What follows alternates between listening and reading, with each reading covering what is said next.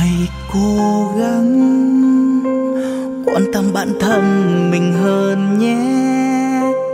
Đừng vì ai quá mà vô tình không hay.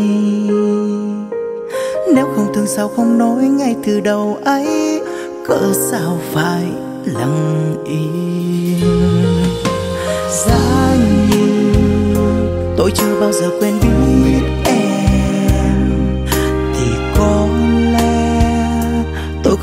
Nhiều khổ đau. Tôi đã nhận ra một điều, yêu ai đừng tin quá nhiều.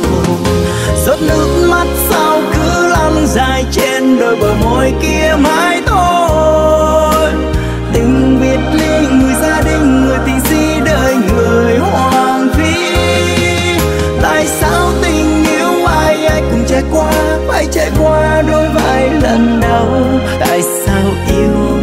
Rồi lại rời xa nhau.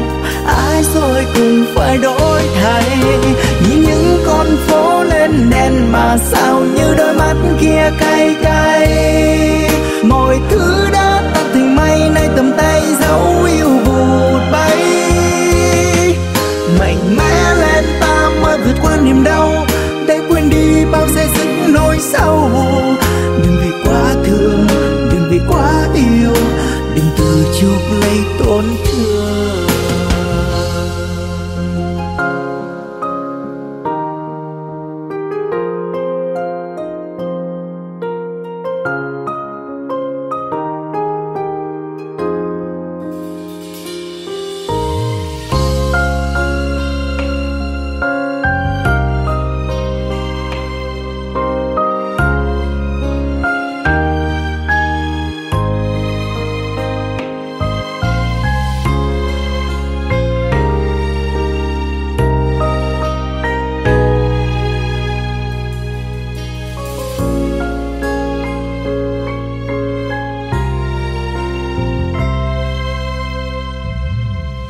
và giá như tôi chưa bao giờ quên biết em.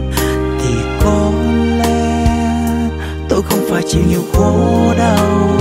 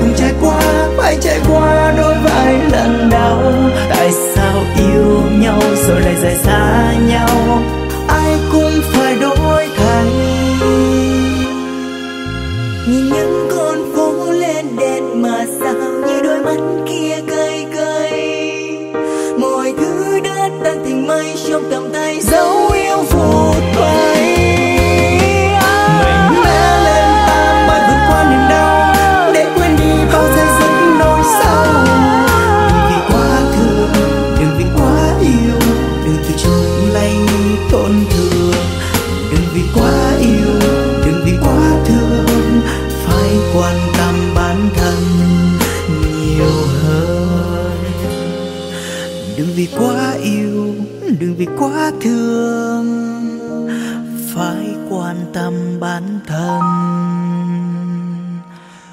Nhiều